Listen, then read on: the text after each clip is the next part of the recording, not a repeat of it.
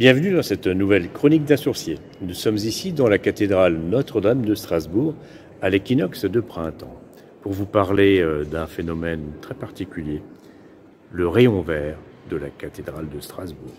Qu'est-ce que le rayon vert? Eh bien, c'est un phénomène euh, équinoxial, comme il en existe d'autres dans d'autres édifices euh, gothiques et romans, bien sûr, notamment à Vézelay ou encore à Chartres au solstice d'été, Ici, c'est une lumière équinoxiale qui apparaît à chaque équinoxe de printemps et bien sûr également à l'équinoxe d'automne euh, à travers euh, un vitrail très particulier du Triforium Sud.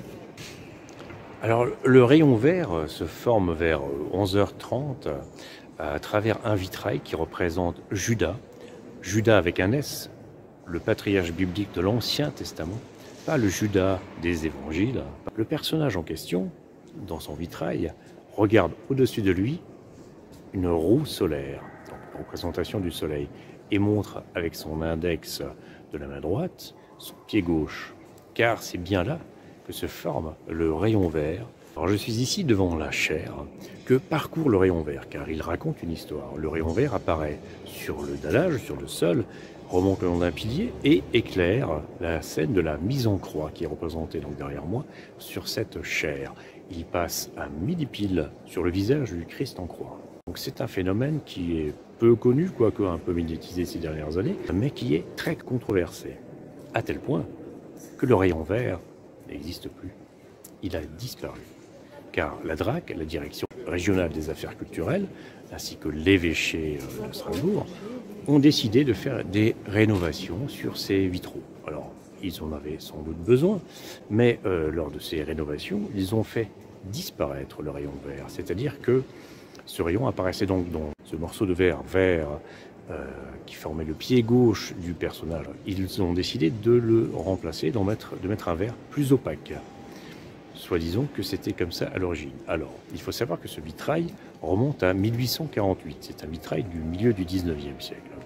Nous n'avons pas d'éléments historiques qui nous euh, prouveraient que les euh, maîtres verriers et le peintre qui ont euh, décidé de concevoir ce vitrail aient décidé de, de créer volontairement. Nous n'avons pas ce point de détail, certes, mais il y a d'autres rayons équinoxiaux ou solsticiaux dans d'autres cathédrales, comme je l'ai dit précédemment. Pourquoi euh, le personnage Judas montrerait-il son, pied gauche? Chaque vitrail, chaque euh, sculpture, chaque bas-relief de la cathédrale raconte une histoire. Donc, si ce n'est pas l'histoire du rayon vert, que raconte Judas dans son vitrail? J'aimerais bien le savoir. Alors, comment est-ce que l'on connaît le rayon vert? Eh bien, euh, dans les années 60 et 70, plusieurs euh, chercheurs de mystères se sont euh, penchés sur les mystères des rayons solsticiaux et équinoxiaux et ont, sont tombés, ont redécouvert ce rayon vert de la cathédrale de Strasbourg. Un certain Maurice Rossard lui a même consacré tout un ouvrage. Les images du rayon vert qui illustrent cette vidéo sont des images d'archives. J'ai filmé ce rayon vert et je l'ai également photographié à plusieurs reprises. Alors, pour certains, le rayon vert euh, n'est dû qu'au hasard euh, d'une restauration, d'une erreur du maître verrier. Pour d'autres, le rayon vert serait un gnomon, un repère temporel qui permettrait notamment aux maîtres horlogers qui ont à différentes époques euh, travaillé sur la, la grande horloge astronomique euh, de la cathédrale, de la régler tout simplement. Aujourd'hui, nous avons des horloges atomiques, mais à l'époque, pour régler cette horloge astronomique, il n'y avait rien d'autre que la possibilité d'utiliser un gnomon. Le rayon vert annonce le printemps. Ça, on en est sûr. Qu'il soit dû au hasard ou à l'esprit créatif d'un maître verrier, importe peu. Il fait partie de notre patrimoine. Rien que pour cela, il devrait être préservé.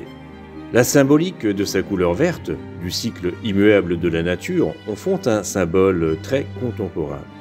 Et l'allégorie de la résurrection, qu'il annonce en passant sur le Christ en croix, en fait bien un symbole chrétien. Cela fait trois bonnes raisons pour le restaurer.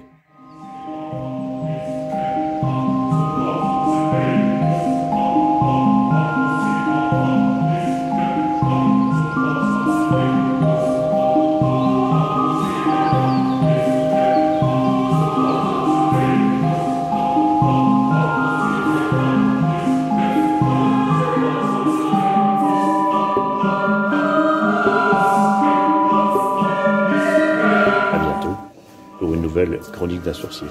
Salut